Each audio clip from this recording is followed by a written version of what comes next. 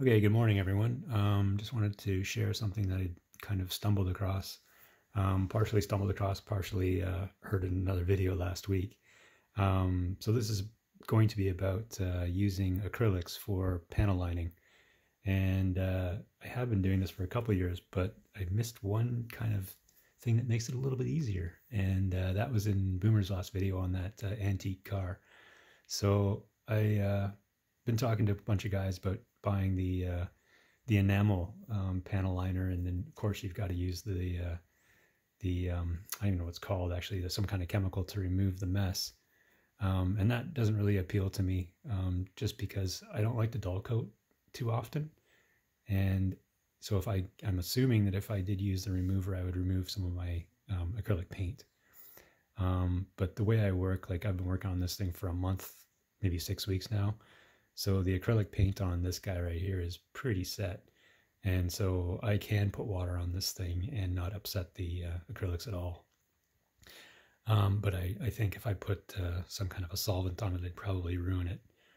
Um, anyway, so I really wanted to go down the acrylics path. And uh, what I found is uh, I just use uh, my cheapy cheap here. So this is a FolkArt. I can either use uh, the black or the dark brown. Um, I think it's burnt umber actually from FolkArt, um, just to get the color you want. And um, yeah, and so this this this side of the uh, of 4642 has been done.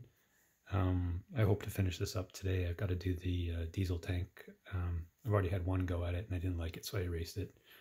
Um, but I'll do another go with the airbrush maybe today, and that will finish this guy up. Um, this is the Spirit of Lucy. Uh, in case anybody's wondering, there's some photographs that have gone around with the happy faces on the side. Somebody thought it would be a pretty good prank to uh, to um, basically make fun of a dirty engine. Anyway, I, think it's pretty good, kind of classic. Um, so I just want to focus on the uh, the center part of the long hood here, and uh, just show you what the panel lining with acrylics has turned out like. So I did I did do some painting. Um, like brush painting up here where it's thicker. And I also used um, some powders, just uh, some, I scrape off the, uh, um, the end of a, a pastel and turn it into powder and use that. So that's a bit of mixture up here, but the vertical lines running up all the doors and stuff is all done with acrylic washes. Well, acrylic um, panel lining basically in a wash method. Um, and I'll show you how I do that. Um, but yeah, so this is how it turns out. This is the black um, acrylic paint. Um, you can also use brown and black or just brown. Um, you can use any color you wish actually, but uh, this one is mostly black because for some reason this side of the engine just got really dirty and black sooty kind of like uh, diesel dust. The other side's not so bad. So I guess I'll finish up with this one here explaining what I this is what I've done and then down here I've got his brother 4644 I still have to do the burn mark but I have not done the panel lining here. And so what I'll do is I'll show you, I use a very, very tiny amount of paint.